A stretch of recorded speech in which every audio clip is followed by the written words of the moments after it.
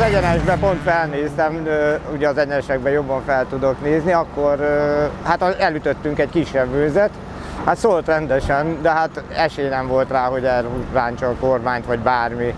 De haladtunk tovább, hát szerencsére nem kapott a hűtő, nem kapott semmi, tudtunk tovább haladni semmi probléma nélkül. Aztán ragaszgattuk a gyors végén. Azt hittük, hogy valami baj van a kocsinak, nagyon visszafogta a légellenállását, nem is gondoltuk volna. Ugye nem tudtuk, hogy mi a baja, de csak ez hál' Istennek csak a légellenállás.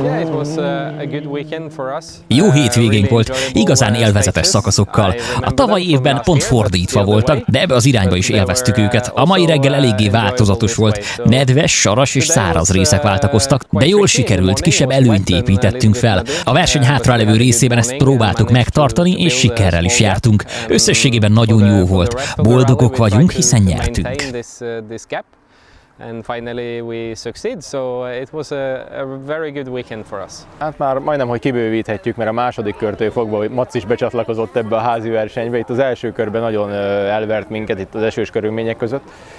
Nagyon jól is ment szerintem, azért itt biztos, hogy jobban kijön a rutinja, mi nagyon keveset megyünk ugye olyan körülmények között, meg ugye az új lengési lapítóval is én még nem teszteltem sose elsőbe, úgyhogy azért voltak még ott hiányosságok, csak valamit betekergettünk, de azon majd még lehet mit finomítani. Mindegy, nem is mentegetőzni akarok, hát mindenki tudja, hogy ugye nagyon gyors. A végére azért már megint elég jó partiba tudtunk lenni, de hát mint látszik, azért annyira erős itt, a, itt ez a bajnokság, hogy ilyen kisebb hibák nem férnek bele, itt, itt végig maxon kell menni és tényleg nem hibázni Úgyhogy örülünk, összességében boldogok vagyunk. Minden jó sikerült már itt a végén.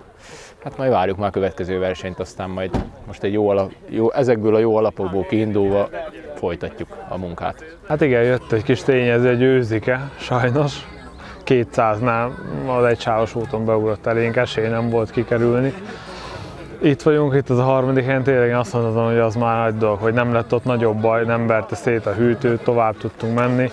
Nyilván ez egy kicsit ott visszavetett, de még nem úszott el az esély, hogy, hogy a Ferivel csatázunk a második helyért. Rá is próbáltunk itt az utolsó körbe, jól sikerült az első gyors, közelebb 1,8 tized másodperc volt a, a hátrányunk.